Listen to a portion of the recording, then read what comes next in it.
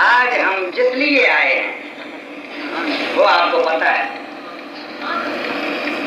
ہم اس لیے آئے ہیں کہ اس مہینے میں وہ آیا تھا جس کے آنے سے ساری رونقیں آئی۔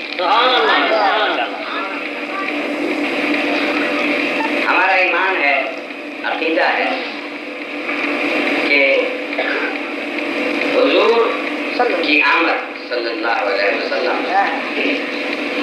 اس پوری کائنات کے لیے ایک انقلاب ایک نئی صبح تھی. ایک نئی روشنی تھی. اسی لیے اللہ نے آپ کو فرمایا کہ قد جاءکم من اللہ. نور اللہ کی طرف سے روشنی آئی.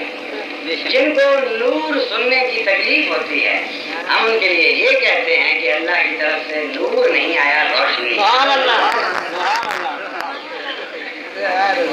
نور عربی کا لفظ ہے۔ سمجھتے آ رہی ہے؟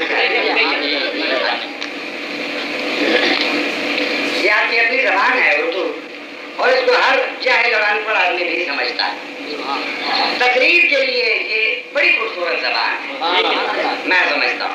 اور ہمیں اپنی زبان کی خدمت کے لیے یہ ضرور کرنا چاہیے تقریریں سنیں بھی اردو میں اور کریں بھی اردو۔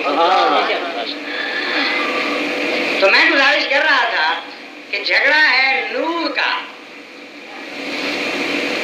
ہم آج وہ جھگڑا ختم کرتے ہیں ہم کہتے ہیں نور نہیں آیا روشنی آئی۔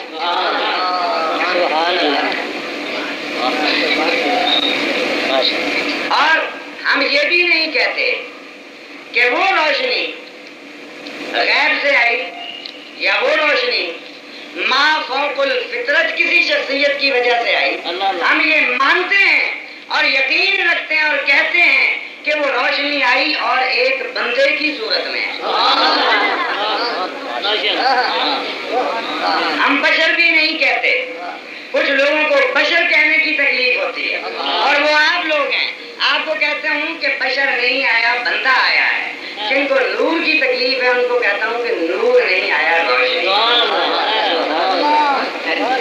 یہ جھگڑا ایک ایسا اہم کانا جس پہ ہم لوگ بلا وجہ جھگڑتے رہتے ہیں اور مسجدوں میں جھگڑتے ہیں جو تقدس کی جگہ ہے جو احترام کی جگہ بہرحال میرے بھائیوں اور دوستوں میں نے جو حدیث پڑھی ہے اس کا ترجمہ سناؤں گا کیونکہ ایک بار بار بار ایک بات میرے ذہن میں آ رہی تھی کہ میلاد مصطفیٰ۔ میں ہم اکٹھے ہوئے ہیں اس بابرکت اور بات محفل میں۔ اور یہاں مساوات محمدی ہونی چاہیے۔ اور ہم ہی سے یہ غلطی ہو گئی۔ ہمارے اسٹیج سیکٹری سے ہی یہ غلطی ہو گئی کہ پارٹیوں کو تو اس نے دو دو منٹ دیے اور خود زیادہ ٹائم دیا۔ باقی نعت خانوں نے تھوڑا پڑھا اور محمد شفیع نے زیادہ پڑھا۔ مساوات ہر جگہ پہ قائم رکھنی چاہیے۔ آپ مجھے کہیں کہ میں پانچ منٹ بولوں میں تو بہت زیادہ خوش ہوں مجھ سے بولا ہی نہیں جاتا میں زیادہ بول نہیں سکتا زیادہ مجھے غلام محمد کہہ رہا ہے ہم اللہ کے فضل سے یہ بھی اور میں بھی بڑے ہی نااہل قسم کے طالب علم تھے جب صرف کی بات آئی ہم صرف سے بھاگ لیے کوئی مشکل کتاب آتی تھی تو ہم اس سے بھاگ جاتے تھے آج میں پیر بنا ہوا ہوں یہ مولوی بنا ہوا اور ہم دونوں نااہل ہیں۔ اصل میں حقیقت یہ ہے کہ ہمارا اپنا کچھ نہیں ہے ہم کسی کے سب سے جس کا نام آج ہم لے رہے ہیں میرا ایمان یہ ہے میں بڑا گناہ گار میرے گناہوں کی انتہا کوئی مگر میرا ایمان ہے اور مرتے وقت بھی یہی ہوگا۔ اور مرنے کے بعد جب مجھے اٹھایا جائے گا تب بھی میرا ایمان یہی ہوگا۔ جو میں آپ کو بتانے جا رہا ہوں وہ یہ ہے کہ میں کہتا ہوں کہ ہمیں تو روٹی بھی مصطفیٰ کے صدقے میں ملی عزت بھی مصطفیٰ کے صدقے میں ملی اور زندگی بھی مصطفیٰ جس کو کسی سے کہیں سے اور کچھ ملا ہے اس کو ملے۔ ہمیں چونکہ کچھ نہیں ملا ہم کہتے ہیں ہمیں سب کچھ اسی کے دروازے۔ اور یہ آپ کا عقیدہ ہونا چاہیے۔ گناہ دیکھیے الانسان مرکب میں الخطا انسان کی اجزائے ترکیبی میں گناہ شامل ہے۔ خطا ہے غلطیاں ہیں کمزوریاں ہیں۔ کل کل انسان ضعیفہ۔ انسان کو پیدا ہی کمزور کیا گیا ہے۔ مگر یاد رکھو ہے کمزور انسان اگر تمہارے دل میں محبت ہے تو تم سے بڑھ کے طاقتور کوئی کیونکہ تین چیزیں علامہ اقبال ہمیں بتا گئے کہ یقین محکم عمل پہ ہم۔ پہلے کیا ہے؟ یقین یقین پکا۔ عمل پہ بھی کام کرنا ہے اس کو ہمیشہ اور مسلسل کرو۔ اور تیسری بات بتائی محبت فاتح عالم۔ یقین محکم عمل پہ ہم محبت فاتح عالم۔ جہاد زندگانی میں یہ ہیں مردوں کی شمال اگر زندہ رہنا ہے زندگی کو اچھے طریقے سے گزارنا ہے تو تمہیں ایک تلوار چاہیے ہتھیار چاہیے جیسے آج لوگ آپ اسلحے کے پیچھے دیوانے ہوئے ہو کیونکہ اسلحہ چاہیے۔ علامہ اقبال کہتا ہے ہتھیار رکھو اپنے پاس۔ مگر کون سا؟ یقین کا۔ پکے یقین کا اور مسلسل عمل کا۔ اور سب سے بڑھ کر مصطفیٰ کی محبت یہ تین چیزیں اگر آپ کے پاس ہیں تو سمجھیے آپ کے پاس وہ اسلحہ ہے وہ تلوار ہے وہ ہتھیار ہے کہ آپ زندگی میں پوری دنیا کے ساتھ جنگ کر سکتے ہیں۔ اگر یہ چیز نہیں ہے تو آپ بحثیت قوم کچھ بھی نہیں۔ میں نے مختصر ایک حدیث مقدسہ پڑھی ہے۔ اس کا ترجمہ پیش کرتا ہوں۔ رسول پاک صلی اللہ علیہ وسلم نے فرمایا، جب مجھے سعادت حاصل ہوئی مدینہ منورہ جانے کی کئی بار گیا ہوں۔ الحمدللہ۔ نہیں ہے۔ مگر پہنچے۔ اور میں تو یہ بھی نہیں کہتا کہ میں اس قابل نہیں ہوں۔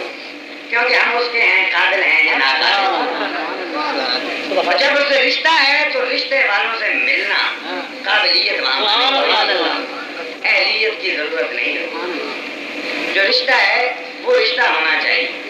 وہاں گیا میں تو روزہ رسول پہ بھی یہ حدیث لکھی۔ کہ من زارا قبری وجبت لہو شفاعتی۔ حضور نے فرمایا جس نے زندگی میں ایک بار میری مزار کی میری قبر کی زیارت کر لی اس کے لیے میری شفاعت واجب ہو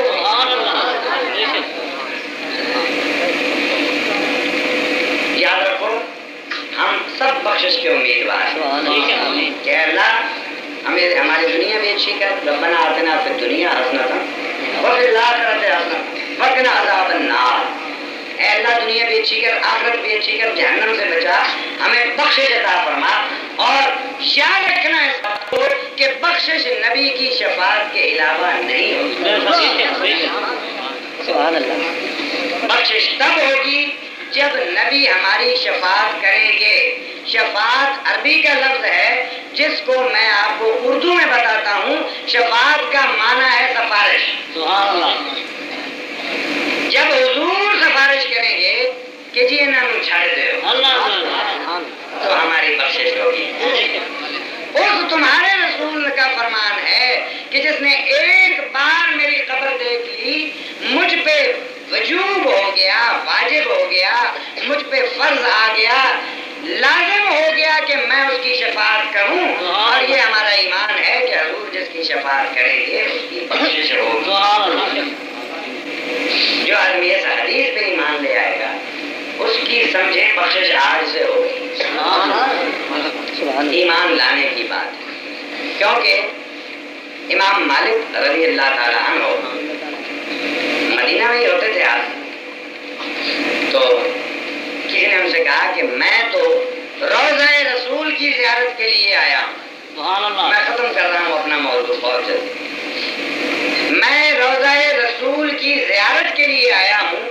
امام مالک نے فرمایا کہ جو مسلمان یہ کہے کہ میں رسول کے روزے کی زیارت کے لیے جا رہا ہوں میرے نزدیک وہ مسلمان نہیں۔ اللہ۔ کہ میں قبر پر بیان کر رہا ہوں۔ آپ نے فرمایا کہ کہنا یہ چاہیے کہ میں اپنے رسول کی زیارت کے لیے جا رہا سبحان ہوں اللہ سبحان اللہ جب تم اپنے شیخ کے مزار پہ جاتے ہو تو تم اس کی مزار پہ نہیں کیونکہ مزاروں اور قبروں پہ کوئی نہیں جاتا۔ تم اسی سے ملنے جاتے۔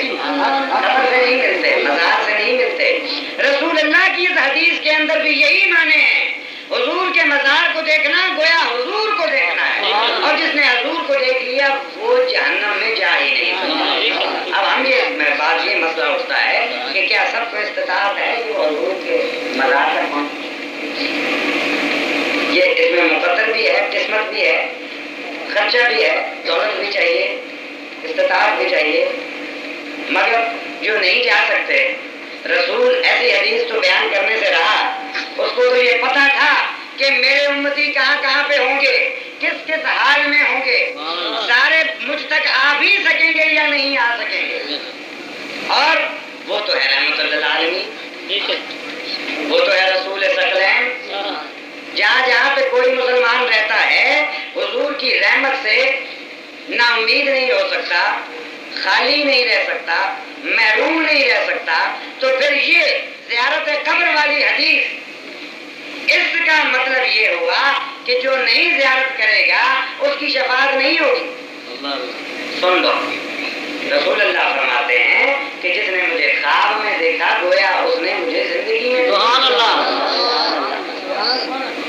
جس نے سوتے میں نیند میں خواب میں اپنے نبی کو دیکھا وہ تو مزار سے بھی بات آگے بڑھ گئی اس نے مجھے گویا زندگی میں دیکھا اور جس نے مجھے زندگی میں دیکھا وہ حاضر سن چکے ہیں من رہا نہیں فقط رہا اب اگر آپ نے خواب میں بھی مصطفیٰ کو نہیں دیکھا، تو جو نمائندہ مصطفیٰ ہے عطی اللہ و عطی الرسول و اولی الامر منکم۔ تم میں سے جو صاحب عمل ہیں، تم میں سے جو رسول کے نائب ہیں تم میں سے جو نبی کے نمائندے ہیں جنہوں نے ان کو دیکھا گویا انہوں نے اپنے رسول اللہ کو دیکھا اور جس نے رسول کو ایک بار دیکھ لیا اس پر اسی رسول کی شفاعت واجب ہو گئی۔ اللہ تعالیٰ آپ کو مجھ کو سب کو اس کی شفاعت نصیب کرنا آمین۔ سما آمین۔ کہنے کو میں بیان کرتا رہوں گا مگر کیونکہ سب نے تھوڑا تھوڑا بیان کیا ہے میں بھی تھوڑا ہی بیان کرتا ہوں اور آج تو میں نے اپنے حساب سے کچھ زیادہ ہی بیان کر لیا بیس منٹ اور یہ غلام محمد کا فیض ہے یہ آج مولوی غلام محمد صاحب کا تصرف ہے مجھ پر اس کے روح نے مجھ پہ تصرف کیا ہے میرے ذہن میں کچھ نہیں میں ایسے ہی خالی آ کے آپ کے سامنے بیٹھا ہوں نہ جان محمد نے مجھ پہ توجہ فرمائی نہ مولانا حیدر نے توجہ فرمائی آج غلام محمد نے میری روح پہ تصرف میں غلط بات نہیں کہتا آپ بہت بڑے بزرگ اور پیر کے مرید ایسے پیر کے آپ مرید ہیں کہ جس نے جس کا ہاتھ پکڑ لیا اس کا دل نرم اس کو ذوق دے دیا اس کو پیار دے دیا اس کو محبت دے دی آج تمہارے اسی شیخ کا فیض اور اس کا تصرف۔ اس غلام محمد کی وجہ سے مجھ تک پہنچا جو میں اتنا بے بولنے کے قابل ہوا۔ موسا کو بھی تو پتھروں سے ہی ملا تھا۔ دور پہ تو موسا نے بھی درخت سے ہی بات کی تھی۔ اور درخت نے ہی کہا تھا انی اللہ یا موسا فخرا مالا کا یا موسا یہ درخت نے کہا تھا کہ میں تیرا اللہ ہوں اے موسا جتلا کیا تو جو درختوں سے بول سکتا ہے وہ آپ سے مجھ سے سب سے بولتا ہے اور یاد رکھو یہ جو تم بولتے ہو وہی بولتا ہے جس دن وہ نہیں چاہتا تمہاری بولتی بند ہو جاتی ہے تمہاری گفتگو ہو ہی نہیں سکتی جب آپ کی روح نکلتی ہے تو کوئی بول کے دکھا دے یہ کون بولتا ہے وہ والا فخصوفی ہے میرے روحی والا اور یہ صرف صوفیوں کے پاس ہے اور وہ عام ہے لوگ روح پہ تقریریں کرتے ہیں بتا نہیں سکتے کہ روح کیا ہے۔ مگر یہ صوفی جانتا ہے کہ روح کیا ہے۔ اور صوفی ہی بتا سکتا ہے کہ روح کیا ہے۔ وہ روح کیا ہے؟ آپ خود ہیں بولے روح میں نام ربی۔ اے رسول تجھ سے بہت لوگ سوال کرتے ہیں کہ روح ہے کیا؟ تم یہ کہہ دو کہ روح تو ہمارے رب ہے۔ میں بتا دوں کہ روح امرے رب ہے اور امرے رب کون ہے؟ الیل امرے من کون؟ سبحان اللہ۔ روح ہے امرے رب اور جو صاحب امر ہے۔ سبحان اللہ۔ روح ہو گیا امر۔ رب کا۔ اور جو الیل امر ہے۔ اور کون ہے؟ من کم تو آتے تم میں سے۔ نہیں آ رہی ہے میرا خیال ہے بس کر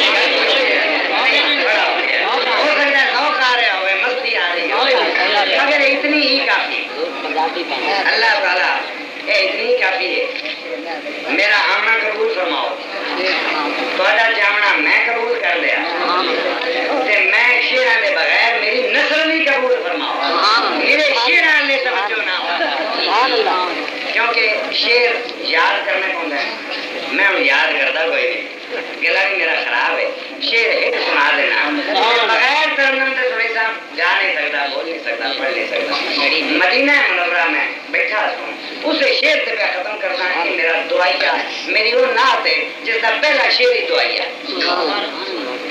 میں حضور دے گنبد کی طرف ویکھیا اور وہ میرا آمن والا دن ہا وہ حضور دے مزار کو ویکھنا ہی گویا ذوق و مستی دا ایک دریا انسان دے آنسو تواڈے بند ہی نہیں ہوندے اسے رومن دے انداز اچھی پتہ نہیں کوئی وی پچی اشعار دی نہ تھائی جڑی انہاں مینوں یاد نہیں مگر اس دا ایکو شعر پہلا مطلب مینوں یاد ہے اور وہ میری اج دی دعا ہے وہ اس دن آئی کہ اے پردہ دار گنبد خضرا صدا تو دے اے پردہ دار گنبد خضرا صدا تو دے دل بجھ رہا ہے شعلہ سوزے وفا تو آخر دعوانا ان الحمدللہ اور اجازت